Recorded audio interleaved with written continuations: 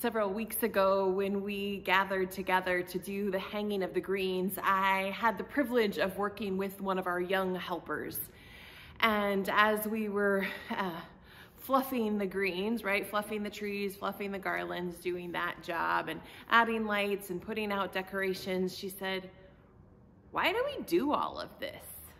And it was such a perfect and great question. Why do we do all of this? For many of us, it's tons of work, loads of uh, just boxes and linens and getting the trees ready and hanging the lights. For many of us, it's a source of frustration. As much as we enjoy the decorating, we do not love, or maybe as much as we enjoy the decorations, we do not love the decorating or maybe the undecorating at the end of the season. So why do we do all of this? So I shared some simple thoughts with her that may be helpful for each of us to reflect on. I said, well, it's the season when things are getting dark. And so we put up the lights to help shine the light in the midst of the darkness.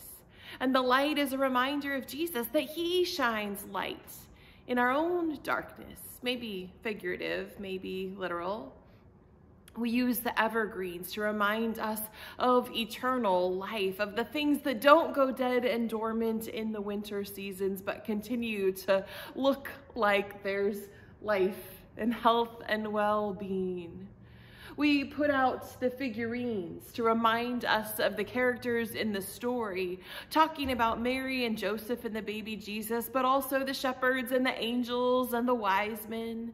Maybe we have other animals there. Maybe we have animals or characters that don't belong necessarily. They didn't live in the Middle East in that era or that time, but they remind us that the good news of Jesus is for everyone, everywhere, for every creature, great and small, and so we include them anyway.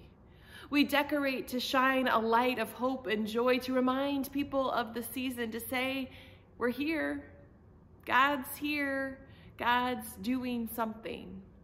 Friends, whether you go big or you stay small and simple, I hope you take a little bit of time to decorate in some way this season.